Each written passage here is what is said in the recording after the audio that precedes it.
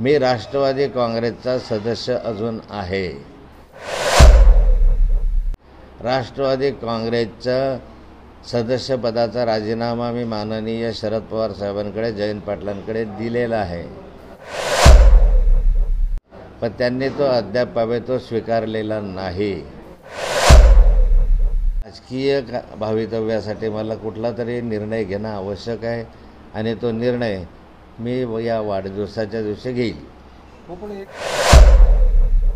असं एकत्र करून फोटो लागलेले आहेत. तुम्ही कसं बघता? तुम्ही भाजपच्याकडे जात आहेत त्या राष्ट्रवादीकडे आहात? त्या फोटोंमुळे संभ्रम तयार होतोय लोकांच्या मनात. भारतीय जनता पार्टीमध्ये प्रवेश करणार अशा स्वरूपाची विनंती मी भारतीय जनता पार्टीला केली होती. परंतु भारतीय जनता पार्टीकडून अद्याप पावेतवर तरी पूर्ण प्रतिसाद मिळालेला नाही. मी राष्ट्रवादी काँग्रेसचा सदस्य अजून आहे. राष्ट्रवादी काँग्रेसचा सदस्यपदाचा राजीनामा मी माननीय शरद पवार साहेबांकडे जयंत पाटलांकडे दिलेला आहे. पण त्यांनी तो अद्याप तो स्वीकारलेला नाही.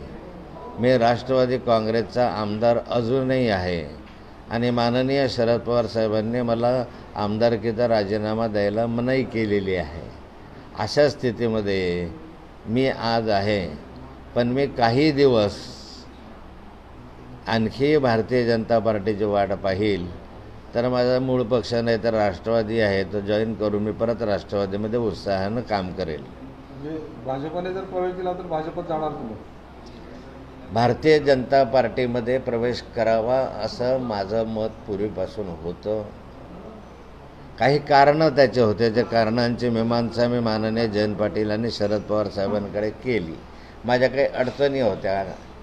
आणि त्या माध्यमातून मला भारतीय जनता पार्टी जॉईन करावं असं वाटलं होतं. पण आता या अशा स्थितीमध्ये मला आता विचार करावा लागेल. भारतीय जनता पार्टीचा फार काही चांगला प्रतिसाद मिळत नाही आहे आणि त्यामुळे आता राजकीय का भावितव्यासाठी मला कुठला तरी निर्णय घेणं आवश्यक आहे. आणि तो निर्णय मी या वाढदिवसाच्या दिवशी घेईल.